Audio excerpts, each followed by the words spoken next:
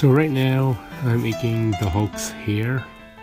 I have a tendency to hold my breath when I'm making hair because I feel like it keeps my my hands and my body steady so I can get that smoother line.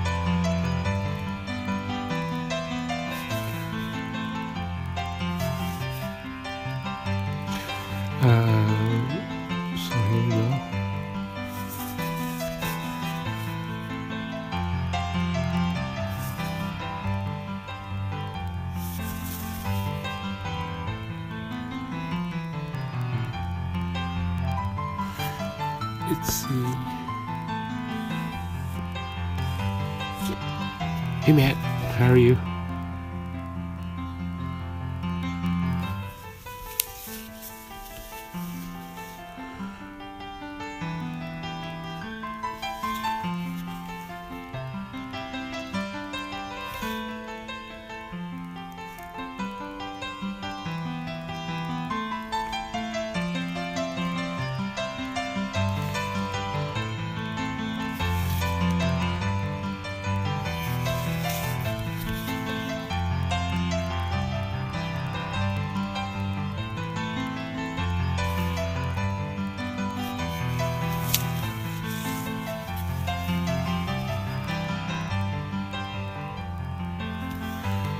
So usually when I ink, uh, I like gliding the brush onto the paper.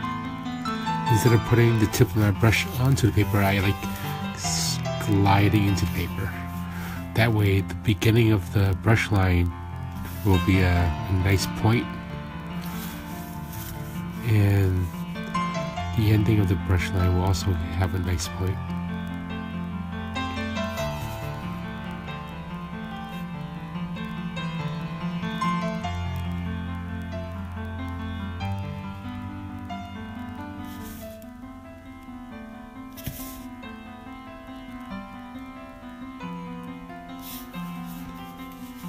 Look at all these uh, wrinkles on the Hulk's head. So many.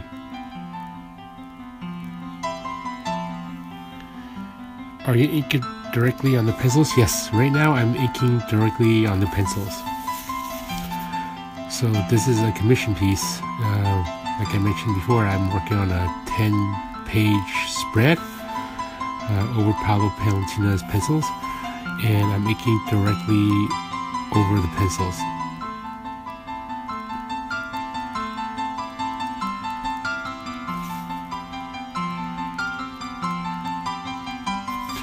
So I'll ink in those parallel lines and then I'll go back and I'll close them up to make those look like a nice taper line.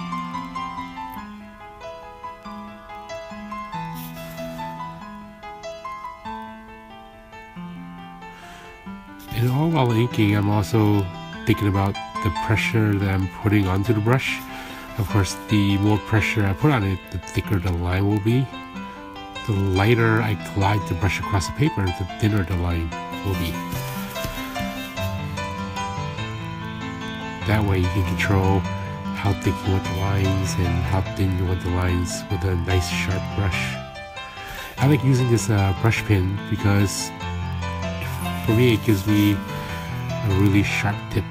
I don't have to uh, fuss around with clean cleaning the brush all the time compared to some of those um, Winsor Newton brushes because those are made of uh, horse mane.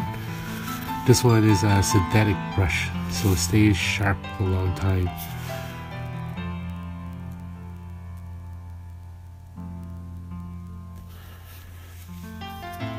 Uh, thank you, Anthony. Uh, and let's see any other questions. Yep. Hey, Walden, great work, Jack. Thank, thank you, thank you, uh, John.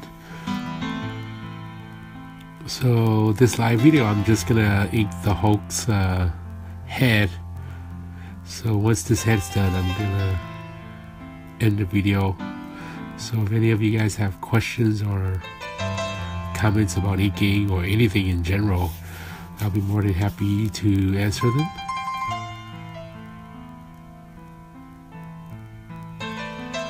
I prefer pushing into the dark areas. You should be able to, when you're inking these, these taper lines like what I'm doing here, I like pushing into it. But uh, that's only because I'm more comfortable doing that. But to be a good inker, you should be able to push in as well as pull out. For example, here, I'll turn this around. I'll inking this line, and I'll pull out into those taper lines like this. Okay, I'll go back and I'll close them up a little bit. Turn them and then close them. Make it look a little bit nicer.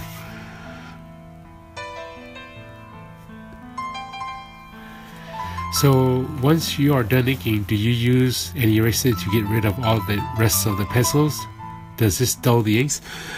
After inking over original pencils, I do erase what's underneath and sometimes it does dull the inks and I usually I'll go back there and re-ink some of the areas.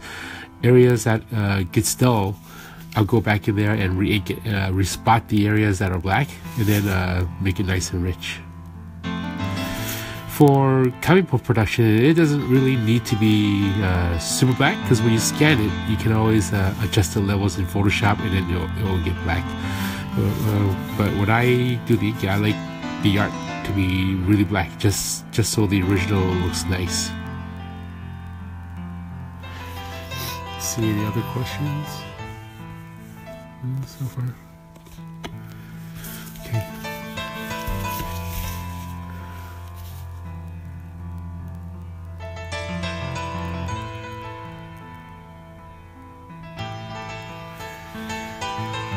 Okay, now I'm gonna ink the, the holding line of the Hulk's head.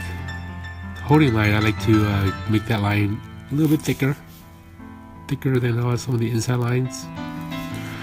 While I'm making a holding line, I think about where I want the lines to be thicker and where thinner. So think about light source.